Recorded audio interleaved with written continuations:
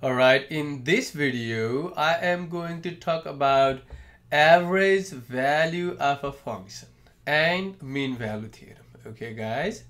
So, uh, let me review about the uh, some. Let me give you some review about the area of uh, a rectangle.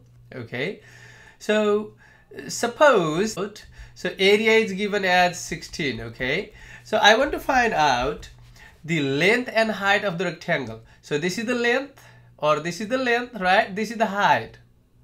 Okay, so if area is given and if the rectangle is placed on the coordinate axis, above x-axis, then can you find out what is the height? So what is the length first? How do I find out the length? So you see that this is 0, right? This is 0. So this length is 2.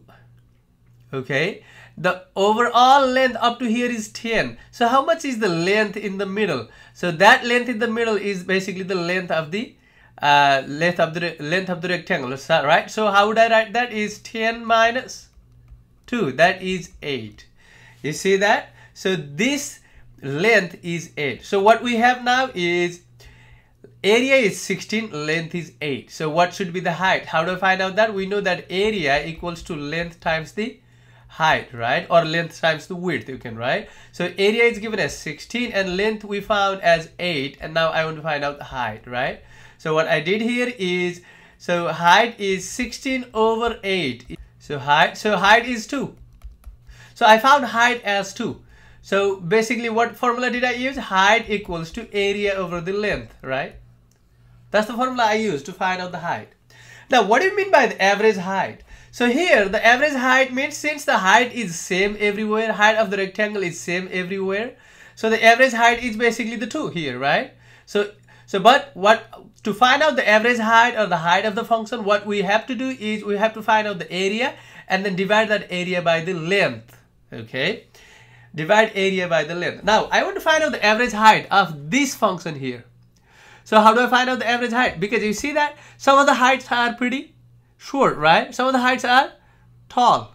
You see that? So what will be the average height? Average height must be the height between the taller and taller and the shorter values, right? Somewhere here maybe. That is the average height of the uh, of the uh, of the function here, right? Between a and b. You see that? So to find out the average height or the height of the function in that interval a to b, that is the average height, what we do is we find out the, the area divide by the length, right? What is the area? Area is the integral, right? So the area is basically the integral. Integral uh, from a to b, f of x, and then dx, right? And what is the length of the interval? Length of the interval is the total length is b and then minus a will be the area be, uh, length between a and b. So that will be b minus a. That's how I find out this formula. So the height or the average height here is basically the average height. Let's say it's also called average value okay average value is 1 over the length of the interval and then times the uh, the integral or the area right? So to use this formula the f of x must be continuous on the interval ab okay? So this is the formula to find out average value of a function. Next we will see some examples on how to find average value of the function. Let us see this example. The function is fx equals to 16 minus x squared okay and you want to find the average height or the average value of this function in the interval negative 4 through 4 okay? So how would the graph of this look like? So the graph of this function if you draw the graph of this it'll look like this. So this is y-axis this is x-axis okay? So the since this is a quadratic with a negative value of the leading coefficient so it will be a parabola uh, that opens downward, right? So it will look like this. So uh, this is a this is a parabola that opens downward. You see that? So this is that parabola that opens downward. So uh, this is negative 4, positive 4. You want to find out the average height because see, you see that close to positive 4 and negative 4, the height of the function is shorter. And close to 0, the height is taller. So we need to have um, the, the average is somewhere between shorter and taller, right? Maybe somewhere there. You see that? All right. So find the average value of the fx equals 16 minus x squared. 16 minus x squared in the interval negative 4 to 4. We will use this uh, use this formula. By the way, I forgot to mention that to use this average for height formula or the average value formula, you need to have the function continuous in the interval AB.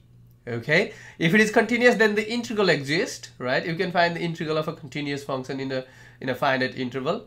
So uh, so that's that's what we need. Okay, so let us find out the uh, uh, the average height or average value of the function. So the average here is equals to so what is the length? The total length is b minus a. This is like b, this is like a, right? b minus a is 8, right?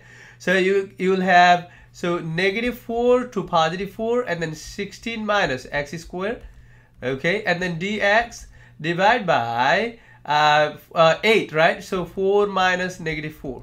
You see that? So, um, so this is 1 8. I'll pull that out and then I will find, uh, I'm going to find out the integral of this. What is the integral of 16? So 16x, right? Minus, what is the integral of x squared? So that will be x cubed over 3 and the limits of integration are negative 4 through positive 4. You see that? So this will be basically 1 over 8. Now you plug in positive 4 to all x and then do minus and then negative 4. So 16 times 4 minus 4 to the cubed over 3 minus, now you plug in the lower limit. So let me plug in, let me start with the parenthesis 16 times negative 4 and then minus negative 4 to the cubed over 3 that's what you get okay so if you uh, simplify this. What you get? Is 1 over 8 so 16 times 4 is 64 minus 64 over 3 you see that? Minus. What is 16 times negative 4 negative 64 but this is negative so you'll get positive 64 you see that? And then how about here? So negative 4 to the third is negative 64 and then minus times uh, this negative sign times negative 64 over 3 will be positive 64 over 3 but there is negative. So negative 64 over 3 okay this is what you get. So uh, if you simplify this what do you get? So this is negative 64 over 3 minus 64 over 3 will be negative 128 over 3 you see that? And then uh, and then 64 plus 6 so if you use calculator for this you will get this. You will get 32 over 3 so this is the average height of this function this function or this graph between negative 4 and positive 4 okay so how about this example Find the average value of the function fx equals sine x in the interval 0 to pi. Do you know how does the graph of this fx equals sine x look like? Because if you have that, sine 0 is 0, you want to find out between 0 and pi, right? So, and then add pi over 2, sine is 1. So it will look like this again. Okay, so you want to find out the average height of this. So the average height may be uh, because you see that near zero is the average uh, the height is almost zero right? Very short. And near pi it is short. And near pi over 2 it is it is tall right? This is so we need to have our average height somewhere like this between the highest and lowest height. So let's see how much would that be okay so the average equals to 1 over b minus a is pi because this is like a, a and this is like b right and then integral 0 to pi sine x dx. You see that? So that will be 1 over pi and then 0 to pi. So uh, let me find out the integral of sine x. Who remembers the integral of sine x? This is basically negative cosine of x, right? And then 0 to pi. Okay, so how much do you get that? 1 over pi and then now plug in pi. So negative cosine pi, negative cosine of pi. You see that?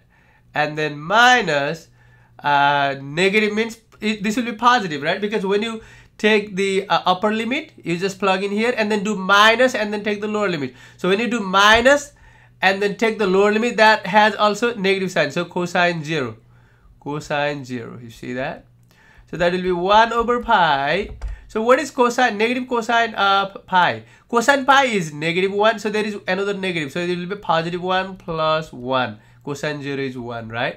So basically you get 2 over pi which is smaller than 1 because at pi over 2 the height is 1. So the average height is 2 over pi. You see that? This is how we find out the uh, average height or average value of a function.